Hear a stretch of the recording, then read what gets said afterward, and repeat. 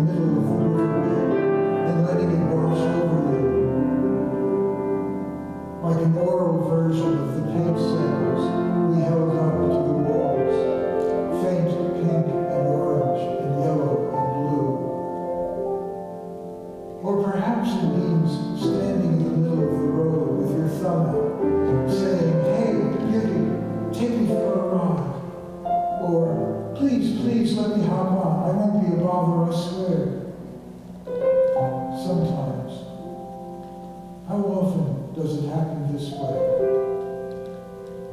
And how often you're standing there with your thumb out and no one's on the road? Then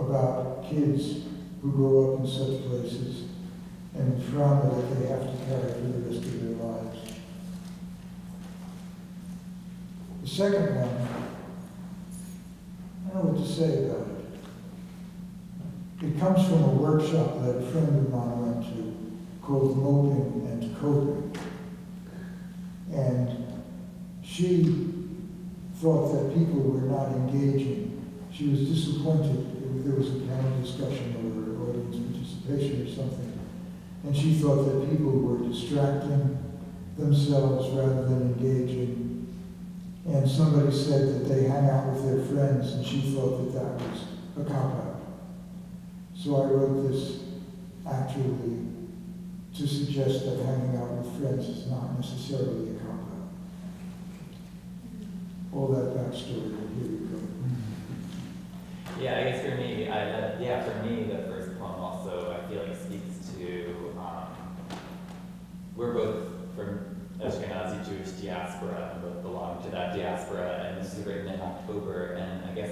question that continues to sit with us is how can how can some people from a diaspora that's experienced a genocide then do something just as horrific to another diaspora of people?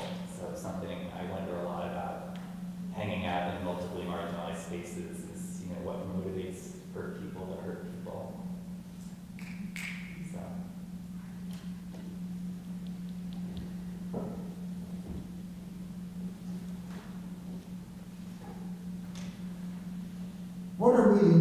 Of forgetting?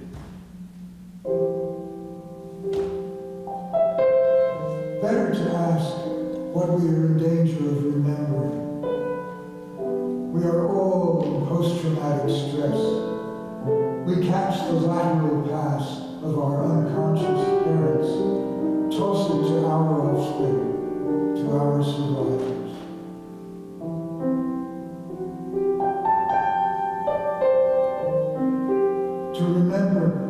Would be too much. We are blessed by dissociation, a great hole where trauma lives unseen, except for the vague feeling that the world is unsafe, but waiting for the shield to crack, for the curtain to fray, so that we can relive the truth, so that we can scream again.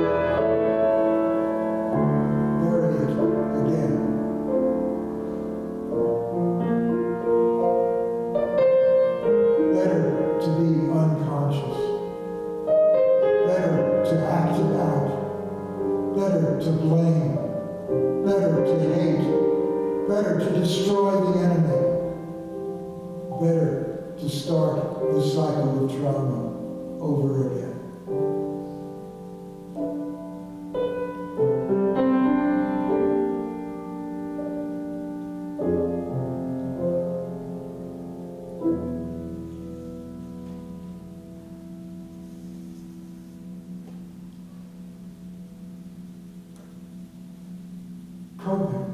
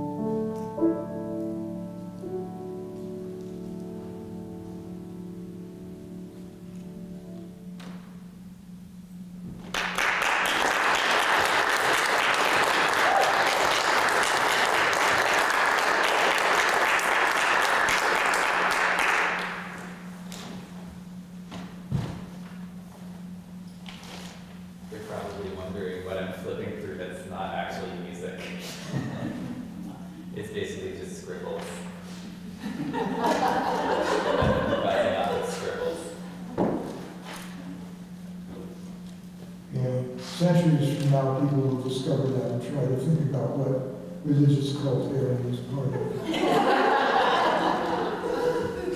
there, are numbers. There's actually no musical books at all, but there are numbers that that in that. This is Aaron Sorkin. In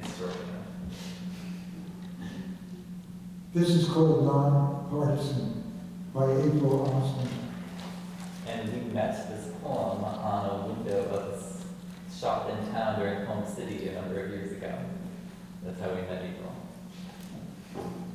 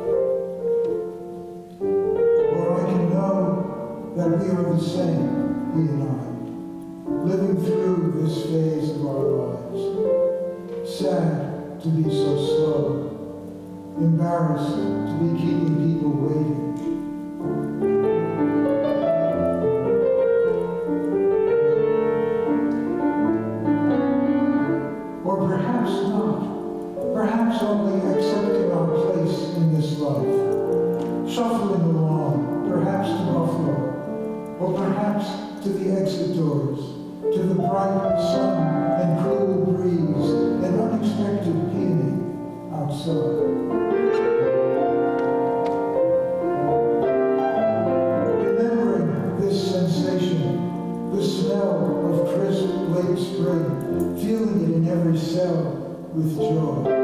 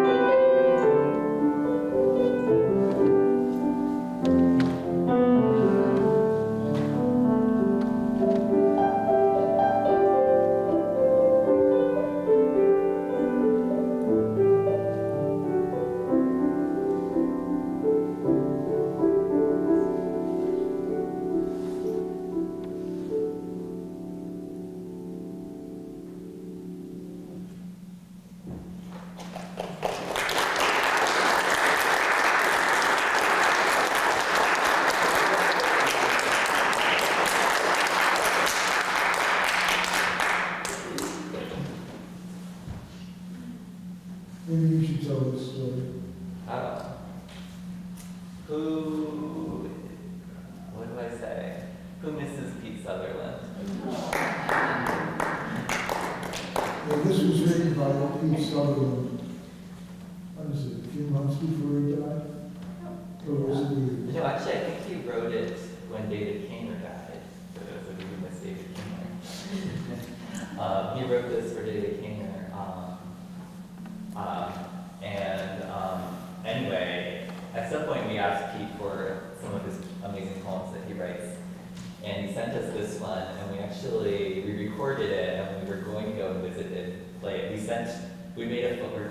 iPhone and we mailed, like texted it to him. Um,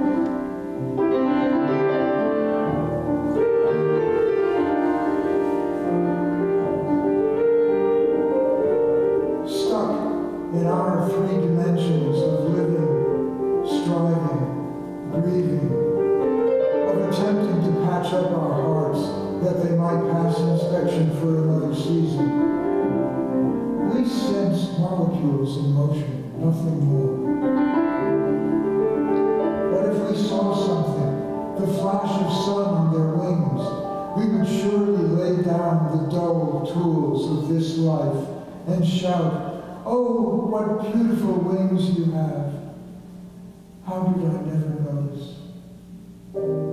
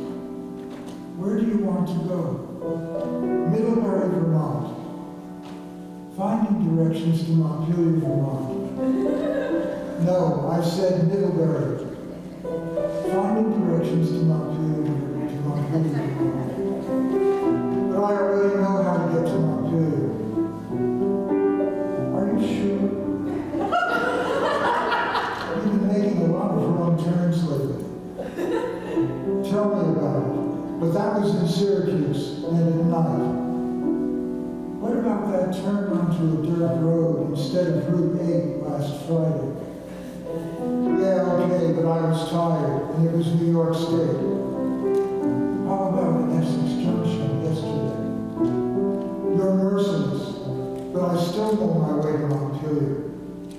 You know, you shouldn't be driving at all. You are a cell phone app, not my mother. Think of the lives of other drivers you were putting at risk. I saw you almost hit that car on Main Street last night. Downtown Montpelier, by the way.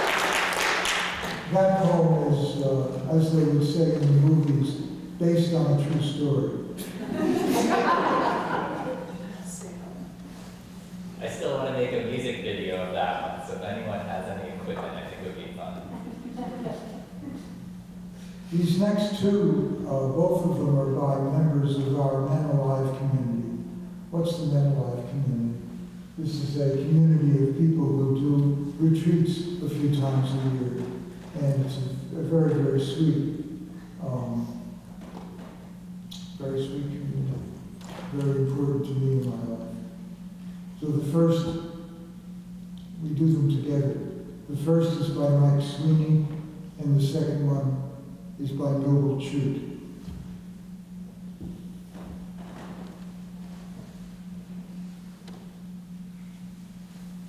I've been wondering about paper. A simple thing that is everywhere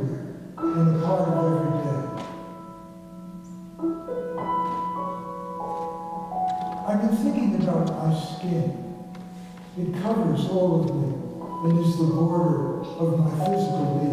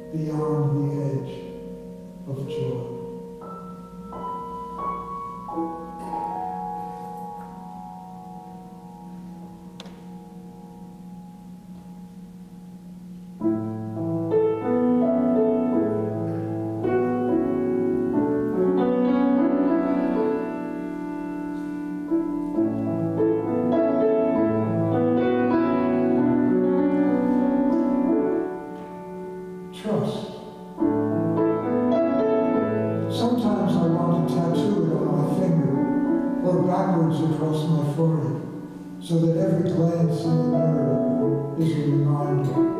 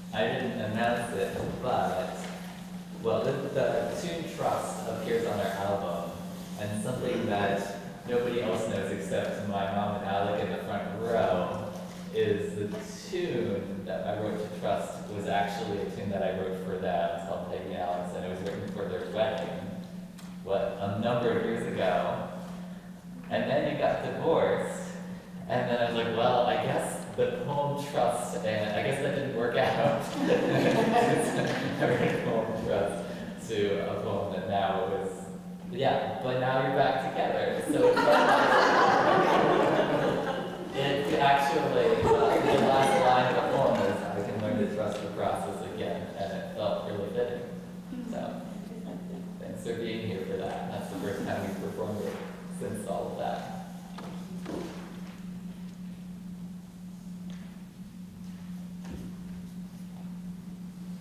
next poem is called Dante's Inferno, and it also is based on a true story.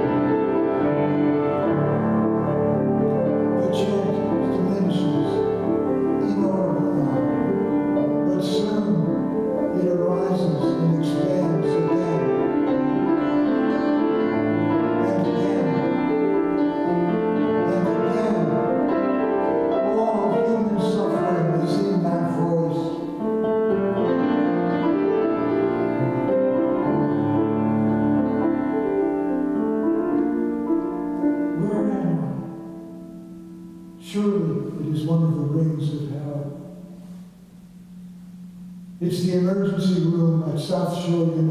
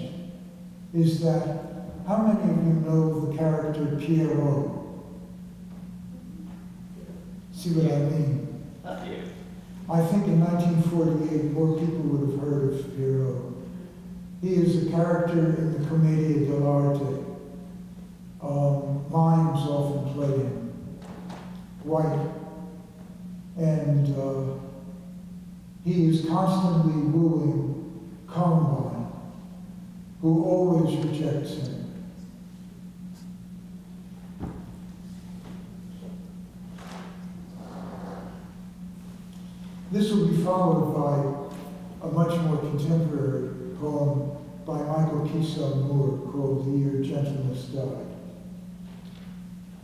First, the ten.